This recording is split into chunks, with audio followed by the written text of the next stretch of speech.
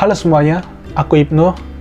Dan pernahkah kalian merasa atau berpikir seseorang yang telah kita temui hanyalah sebuah kebetulan saja?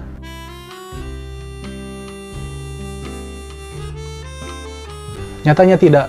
Seseorang yang telah kita temui, mau itu teman, teman sekolah, teman kuliah, teman kerja, teman rumah, teman tapi mesra, bahkan sahabat, dan sebagainya. Mereka semua yang telah kita temui itu tidak pernah terjadi secara kebetulan.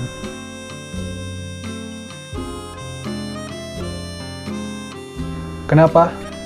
Karena antara mereka yang akan memberikan sebuah dampak bagi kita, atau justru malah kita yang akan memberikan sebuah dampak kepada mereka.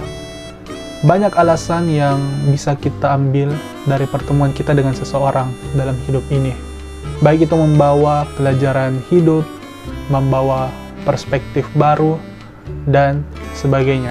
Mau itu dampaknya besar atau kecil, baik itu hal-hal yang kita tidak sukai, dan juga hal-hal yang kita sukai dari bertemu dengan seseorang.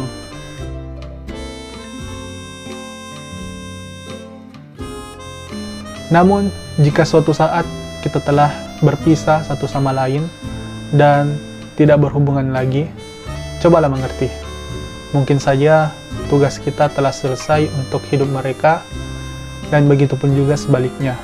Jadi, jika kita telah terpisah, itu bukan tanda kita saling membenci atau tidak ingin bertemu lagi, tapi mungkin saja kita telah menemukan jalan masing-masing dan seseorang yang akan kita temui di masa depan yang akan memberikan kita pelajaran hidup ke depannya.